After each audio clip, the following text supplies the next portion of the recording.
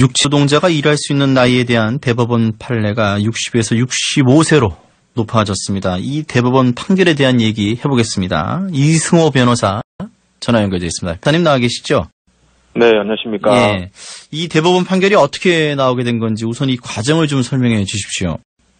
네, 우리 뉴스를 들어서 대부분 많이 알고 계시지 싶은데 예. 뭐 간단히 말씀을 드리면 어, 이 사람이 2015년도에 어, 4살짜리 아이를 데리고 수영장에 찾아갔다가 이제 사망사고가 일어납니다. 예. 그래서 이 박씨 부부, 이 부부가 수영장 운영업체 상대로 손해를 배상하라고 소송을 제기한 것이죠. 그런데 1심과 2심에서는 우리가 기존의 대법원 판결처럼 어, 가동연한이 만 60세다 이렇게 해서 6세를 기준으로 판결을 내립니다. 어. 그렇게 되니까 이 아이의 부, 부부, 부모 되는 분들이 이것은 부당하다. 65세로 가동연한을 인정해줘야 된다 해서 대법원에서 항고를 했습니다. 어. 그렇게 되니까 대법원에서는 이 가동 연한에 대해서 국민적인 합의를 다시 도출해 볼 때가 됐다라고 판단을 하고 이제 이 사건을 저는 합의체로 넘기게 됩니다. 예. 그리고 이 공개 변론을 거쳐서 21일 날 이제 판결을 내리게 된 것이죠.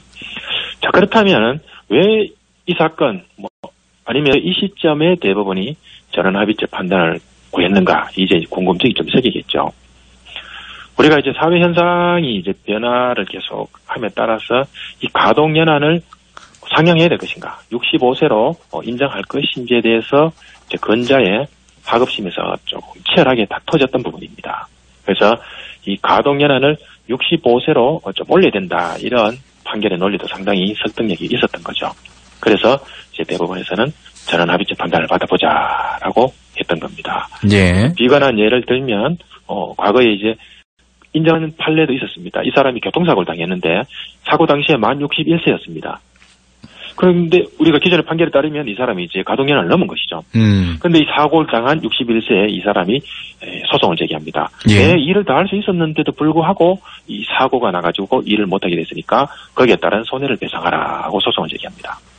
그렇군요. 지금 변호사님이 말씀해 주시는 이 사례들을 보니까 조금은 이 참 이 내용하고는 좀 이렇게 관계가 없는 데서 출발을 해서 그런 게 계기가 돼가지고 지금 이 판례까지 이어지는 그런 느낌이 듭니다. 아. 그렇죠. 예, 예, 어, 그렇군요. 예, 이 소송이 있을 땐 2심에서는 예. 가동연한을 65세로 인정하는 것이 예. 타당하다라고 이제 이 판결이 났던 거죠. 이렇게 음, 이제 음. 하급심에서는 어 65세로 하는 것도 맞다라는 판결이 상당수 있었지만 견해가 있었지만 이 대법원 판결이 음, 있습니다. 기대는 판결을 내리기가 상당히 어려웠던 거죠. 예. 이러한 점을 인식하고 이제 대법원에서 전환합의체 판결을 예, 받아보자라고 판단해보자라고 했던 겁니다. 예, 이 과정은 알겠고요. 왜 이렇게 이제 30년 만에 지금 60세에서 65세로 올리는 이 상향하는 이런 판례가 나온 건데 어떤 이유로, 어떤 배경으로 이런 판단을 판결을 했을까요? 대법원은?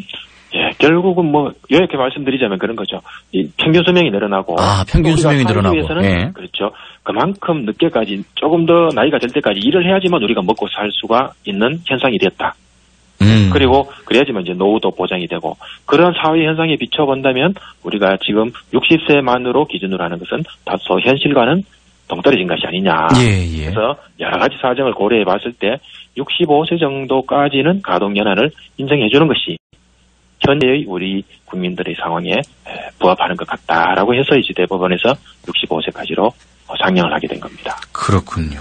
네. 지금 이게 왜 국민적 관심사가 되고 계속 지금 탑뉴스로 오르냐면은 이게 정년에 이르면 오르는 거 아니냐. 예, 그렇죠. 예. 지금 일반 국민들께서는 지금 정년이 연장되는 거에 대한 결정적인 계기를 맞이하지, 맞이한 거 아니냐 이렇게 연구하고 계시거든요. 맞습니다. 그래서 결국 이제 65세로 가동연한이 있으니까 공무원은 물론이고 예. 민간 기업에서도 정년 연장에 연장을 미- 영향을 미칠 것이다. 이것이 일반적인 견해로 보입니다. 그렇게 생각해도 되나요? 그렇죠. 당연 어느 당연한 수순이라고 보입니다만 예, 예, 예. 다만 시간적으로 그렇게 빨리 어떤 결과가 나타날 것 같지는 않고요. 왜요? 이- 정년이 늘어나게 되면은 그만큼 우리가 기업 입장에서는 부담이 커지게 됩니다. 아하. 퇴직금 부담, 또 장기적으로 더 근무함으로 해서 급여가 더 지치게 음, 그렇겠네요. 예, 예. 그래서 사회적으로 나이 많은 사람 임금 피크제 적용하는 것도 사실은 어, 이 정년 문제와 급여 부담 때문에 그런 문제가 있기 때문에 제가 생각할 때는 어, 상당히 긴 시간을 두고 그 영- 영향이 나타나지 않을까, 그 효과가 나타나지 않을까. 또 하나는 공무원의 경우는 모르겠습니다만은 일반 기업체의 경우는 바로 정년이 또 65세로까지 어, 올라갈 것 같지는 않다라는 생각도 듭니다. 왜냐하면 음.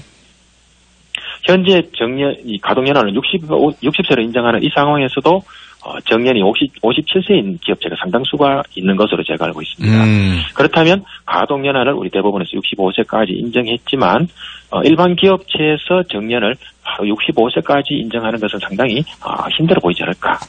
인상은 되겠지만 상향은 되겠지만 65세까지는 어, 힘들 것이다라는 어, 생각을 해봅니다. 일반 민간 기업의 경우는 공무원들은 금방 올리나요? 65세로?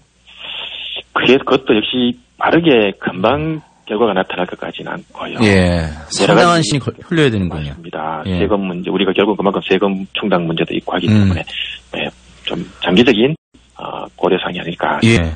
아니 지금 뭐 보험료 납부액도 그렇고요. 또 무슨. 퇴직금도 그렇고요. 말씀하신 대로 세금 문제 문제가 한두 가지가 아닌데 이거는 해결이 되긴 되나요, 이제? 이런 것들이 어, 차근차근. 보험료는 결국은 보험료는 손해율에 따라가니까 음. 어, 제가 생각할 때 당연히 보험료가 어느 정도는 인상될 것 같은데요. 예. 결국은 뭐 가동 연한이 상향되는 것이 어, 인상 올라가는 것이 우리 국민 모두의 어떤 이익에 부합하는 것이라면 얼마간의 보험료 인상은 우리가 감수해야 되지 않을까 이런 생각을 보험료 인상. 해보고요. 예. 그렇습니다. 음. 그리고 뭐 현재 우리 지금 우리가 진행되고 있는 이러한 소송 소송의 경우에 모든 판결이 65세 기준으로 이제 또 판결을 어, 해야 되는 예. 그런 문제도 있습니다. 아니 그 뭐 보험료 얘기가 나왔음이 말씀입니다. 뭐 연금이나 이런 것들을 개인 연금들 많이들 이제 국민들께서 하시는데 처음에 이제 얼마까지 몇 세부터 준다고 했다가 계속 이게 이자율이 떨어진다면서 금액이 줄어들어요. 예. 그렇죠. 예. 그런데도 지금 또 65세로 넘어가는 어떤 이런 과정에서 또 돈을 더 내야 되니까 더 오래 쉽게 또 국민들께서는 납득하기가 힘들지 않을까 이런 생각도 드는데 외국의 사례는 어떻습니까? 다른 선진국들 우리나라 와 비교해서 어때요? 외국의 경우에 노동 정년이, 예. 예, 가동 연한은 거의 뭐 60, 미국은 65세 정도인 것 같고 독일은 67세까지 인정을 했다. 미국은 65세, 독일은 67세라고요. 그렇습니다. 일본도 어, 가동 연한을 67세로 어, 인정하고 있다. 아. 이렇게 제가 알고 있습니다. 그래서 일본 정부는 어, 이러한 어, 가동 연한 67세인 것에 따라서 어, 지난달에 공무원 정년을 60세에서 65세로 올리기로 했다는 뭐 뉴스를 제가 아, 봤습니다. 그렇군요. 변호사님, 제가 이게 참 많은 분들이 궁금하시기 때문에 다시 한번 여쭙겠습니다. 우리들이 정년을 65세로 올리는 데 있어서 가장 큰 걸림돌은 뭡니까, 그럼? 지금. 변호사님이 생각하시기에. 제가 할 때는 결국은 국민의 세금 부담이 아닐까 세금 부담. 하는 생각을 해봅니다. 예. 음, 그만큼 어, 그대로 충당되는 부분을 만들어야 돼, 돈을 만들어야 되기 때문에 예. 아, 국민의 세금 부담이 좀 늘어나지 않을까 라는 생각을 예, 세금 아, 부담. 정년 예. 연장이 좀 힘들지 않을까 이런 생각을 해봅니다. 아, 그렇군요. 우리 또 세금과 맞물려져 있는 거군요. 그렇군요. 예, 제 견해는 그렇습니다. 예, 예. 다른 생각이 있을 수가 있고 예, 예. 알겠습니다. 오늘 말씀 여기까지 듣겠습니다. 변호사님 말씀 고맙습니다. 네 감사합니다. 예, 이승우 변호사와 얘기